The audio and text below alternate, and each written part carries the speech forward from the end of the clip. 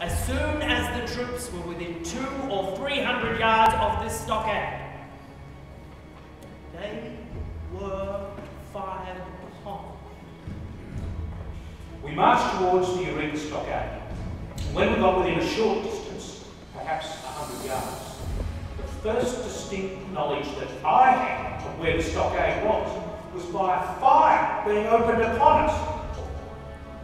It's not high treason to seek the repeal of a measure that is obnoxious by moral force. Physical force is requisite for that grave charge. If you think the prisoner has been connected with the commission of these overt acts which have been proved, then I think you must say that treason has been committed and by him.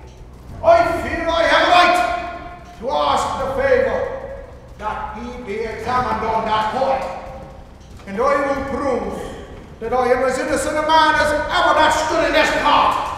Gentlemen of the jury, on the first count of the information, do you find the prisoner, Timothy Hayes, guilty or not guilty?